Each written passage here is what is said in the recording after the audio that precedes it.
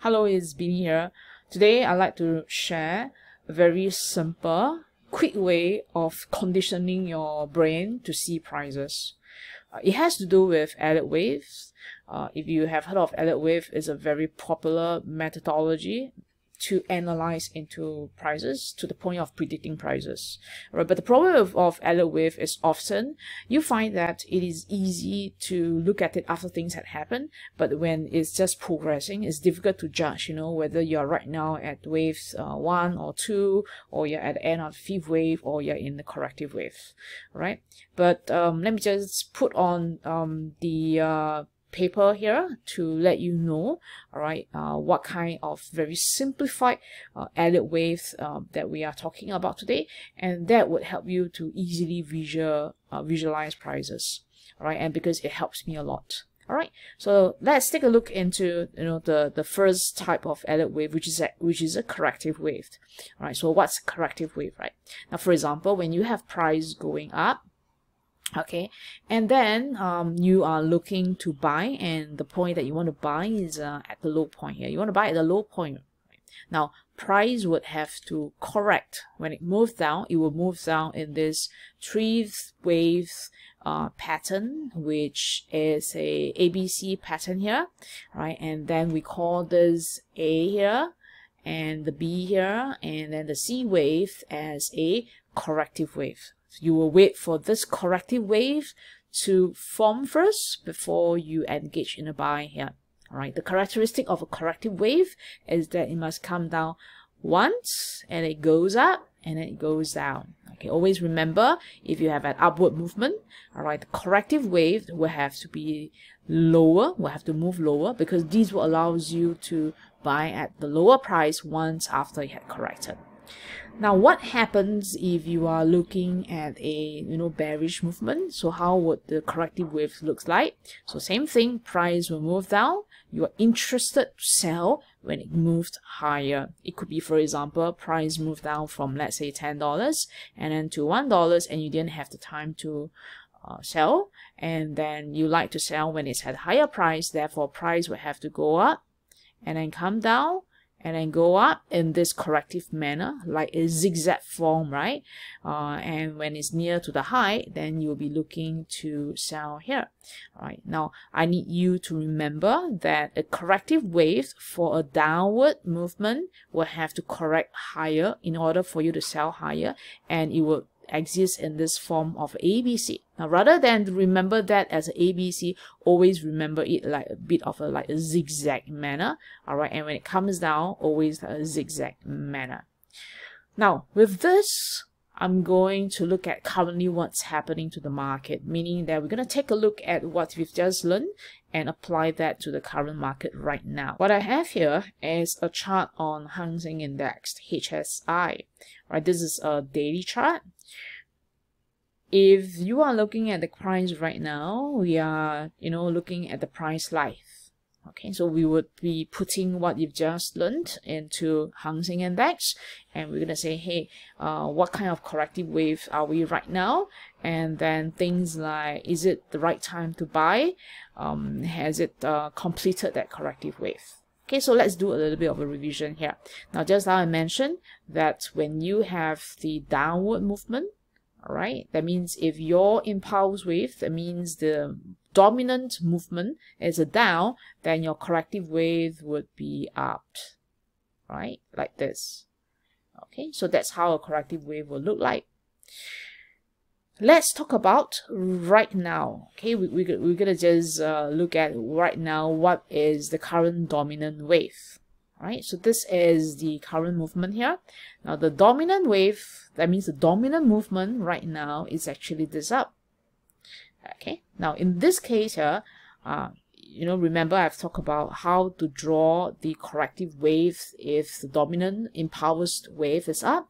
So if the impulse wave is up, then we'll be looking at a buy to buy lower. So we want to buy somewhere around this point here.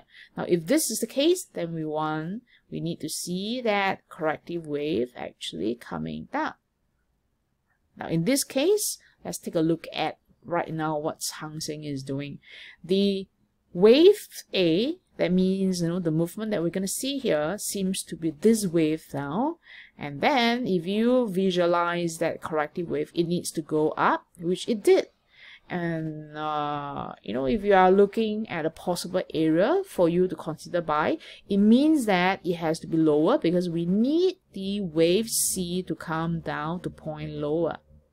Right, therefore, this will be your wave A. So this is B, and then this is C, and the whole thing would be your corrective wave.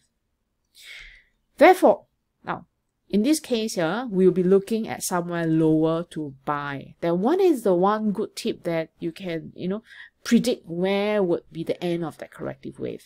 Now, very simple is to look at this impulse movement, the most recent impulse movement, and you want to take your Fibonacci tool to draw from the low to the high to sort of know what's the percentage that you can retrace. Now, in other words, you might be expecting your corrective wave to be like this to move to the 50% or to move to the 62% in terms of correction. Now, in this case, why is it useful for this corrective wave? Because you know that right now price hasn't completed its correction. Second, you'll be waiting for a lower price to complete that correction. If you can map this corrective waves in in your in your brain every time to wait for the correction to happen, it helps a lot in getting in at the right place or rather it helps a lot in avoiding you from getting in at the wrong place. Alright, so this is one uh, very simple tip, right, that I always, always apply for my student because I always expect that the corrective wave would be there. And what happens if there's no corrective wave? I mean, that means you see something that doesn't have a corrective wave. Then for me, I just don't trade because then it's not to my terms. Let me just demonstrate one more example on the trade that I did right based on uh, the FX and and you uh, you realize that the corrective wave applies in any currencies any instruments whether it's stocks or whether it's commodities or even in forex or even in, in indexes. Right right now we are you know looking at this uh, FX forex which is Aussie versus the dollar uh, if you look at the price movement it had a huge down Okay, so therefore there was a huge drop here. The question is that can you capture that huge drop the before uh, it even moved down here? Uh, the answer is yes, because previously we had this downward movement right? This was a downward movement. Now, if this is a downward movement, you would expect that the corrective wave to be pointing upwards. But sometimes, you know, sometimes when you have, let's say, impulse wave, there are occasions where the corrective wave uh, will not be pointing upwards. There are occasions that it's going to be flat. Now, when you have a flat corrective wave, it just means one thing. It just means that price doesn't have a lot of energy to, to move higher, right? So isn't it a better news even for the instruments that you're trading right in this case here we have aussie that moves up as wave a all right, followed by a wave B, and then lastly by a wave C. All right, so that's a very typical, very nice corrective wave. And we have our trades coming in here, all right, as, as this point, and then also another one more trade coming inside here. And that allows us to short right at the top of a corrective wave to capture into this downward movement. All right. Now, as a summary, let's talk about, you know, what are you going to expect in terms of price. When your current impulse wave is a down, right, don't rush into short to sell. Wait for price to go up in the form of this corrective wave manner. Now, remember I said before, sometimes the correction can be flat. That means instead of it going up, it can be flat or sometimes it might just happen in a bit of a triangular manner. Most important is to wait for that ABC wave to correct in the form of a zigzag manner. Now do not trade here. That means you don't want to trade here. You want it to go down first and then to move up again to trade on that retest of the price movement.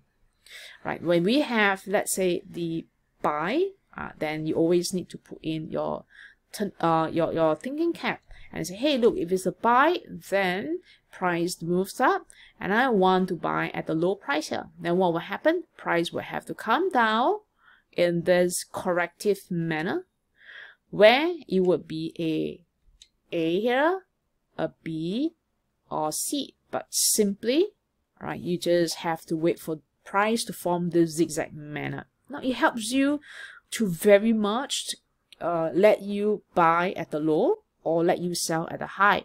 Okay, remember I said before that the corrective wave sometimes can be shallow, so it need not be in this very steep manner.